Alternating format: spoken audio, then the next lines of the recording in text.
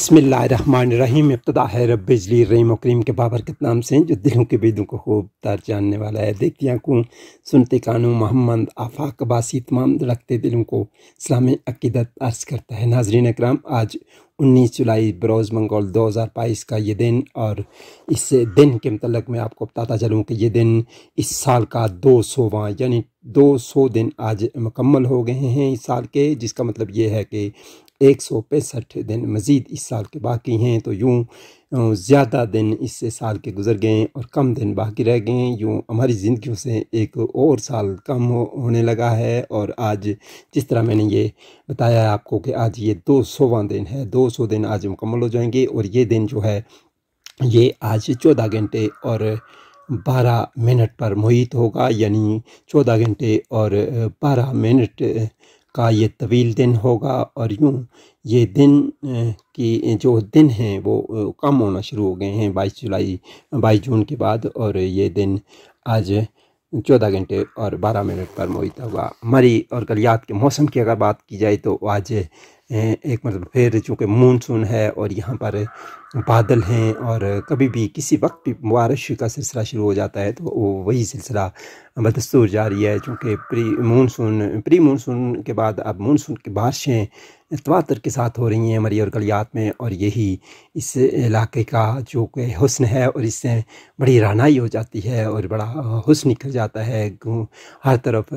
सरसब्ज Shadab greenery है और lush green areas हैं और यहाँ का जो हुस्न है वो इन दिनों पूरे जोबन पर है और इसी वजह से मुल्क के तूल से यहाँ पर स्याह भी आते हैं और इस खूबसूरत मौसम और यहाँ हर तरफ़ खिले हुए फूलों से खूब महसूस होते हैं और ये जो खूबसूरती है ये उनको मुद्दों याद रहती है और ये वो अपने अपने अंदाज में इसको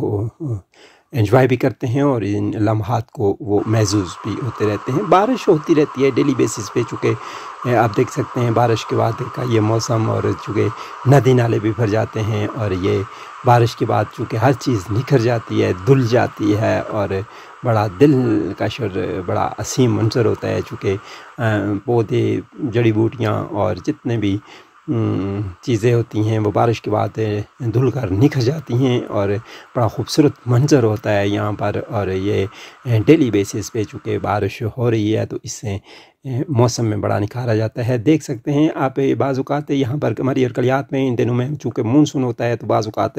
ये गहरे बादल करीब आ जाते हैं। ये धुंध के शक्ल में होते हैं, लेकिन ये बादल होते हैं, इनमें पानी होता है। और अगर ये ज़्यादा गहरे हों तो आपको अच्छी खासी जो होती है, नमी महसूस होती है। तो ये आप जो इस वक्त स्क्रीन पर देख रहे हैं, ये बादल हैं और जो ज़मीन पर आकर बाज़ात हद नगाह ज़ीरो कर देते हैं। और बाज़ात चंद मीटर, इस वक्त यहाँ पर चंद मीटर थी तो ये बारिश का सिलसिला इस तरह से वक्फे वक्फे से जारी रहता है और जब बादल बरसते हैं और ये ड्रिजलिंग होती है तो उस वक्त तो फोग होती है, लेकिन जब मूसलाधार बारिश होती है तो यह आमतौर पर ये धुंध छट जाती है, जिस तरह अभी आप देख रहे हैं। बिल्कुल क्रिस्टल क्लियर है और तेज़ बारिश इस वक्त हो रही है और इस वजह से यहाँ पर धुंध छट गई है, वो बादल जो अभी कुछ देर कबल यहाँ पर नमदार थे, वो बिल्कुल गायब हो गए हैं और इसे मूसलाधार और शदीद बारिश और इसका खूबसूरत मंज़र और जम के बरस रहा है, अबरे गर्म, और ये बड़ा खूबसूरत और बड़ा दिल नशी और बड़ा दिलकश मंज़र होता है। जब यहाँ पर बारिश होती है तो उसके बाद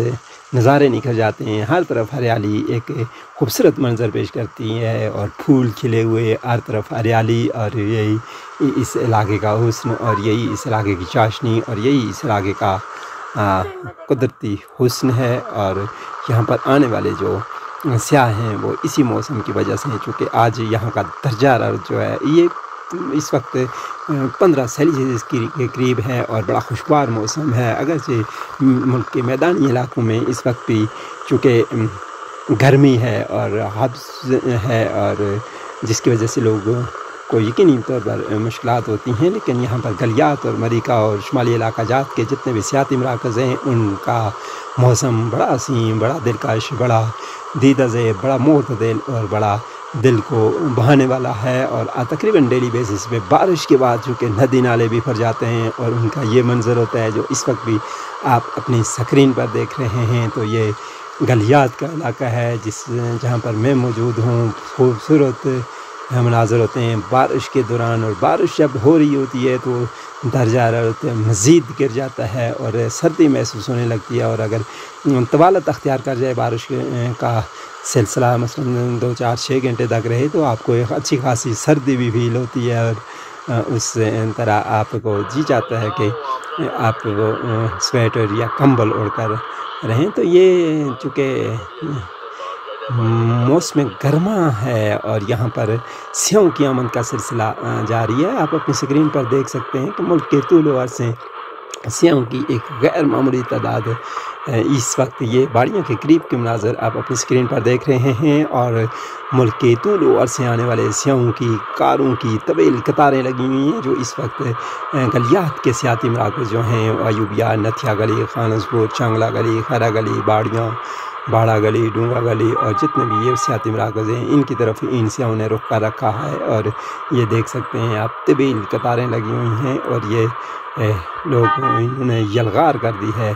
इन दिनों गलियात पर और ख़ास तौर पर वीकेंड जब होता है तो तिल धरने को यहाँ पर जगह नहीं होती और जितने भी स्याह होते हैं वो, उनकी कोशिश होती है कि इन खूबसूरत सियाती मराकज़ में पहुँच कर अपनी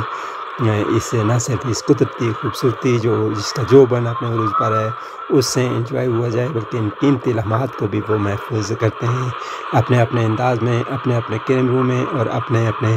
अंदाज में वो इस इन कीमती लम्हात को महफूज भी करते हैं और उनसे महजूज भी होते हैं और इसमें यहाँ पर आने वाले लोगों की एक अनगिनत तादाद है। जिस तरह आप अपनी स्क्रीन पर इस वक्त भी देख सकते हैं, तवील कतारें लगी हुई हैं कारों की, जो इस वक्त रवान दवा हैं। गलियात के सियाती मराकज़ की जानब और इन सियाओं में बूढ़े बच्चे ख़वान मर्द और औरतें सभी शामिल होते हैं। तो ये इस खूबसूरत मौसम से खूब जी बार कर यहाँ पर महसूस होते हैं और चूँकि बारिश, मानसून का मौसम और गलियात की जितने भी कुदरती चश्मे हैं, आबशारें हैं, उनमें भी पानी की मकदार में इजाफ़ा हो गया है तो ये खूबसूरत नाजर आप अपनी स्क्रीन पर देख सकते हैं। तो अपने मेज़बान मोहम्मद आफाक अब्बासी की इजाज़त दिए अल्लाह हामी नासिर।